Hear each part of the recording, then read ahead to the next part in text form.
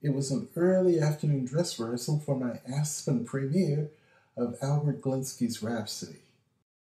The performance was at five o'clock, but during the rehearsal, I noticed that a friend was holding back tears, so after the rehearsal, I went up to her and asked her what was wrong.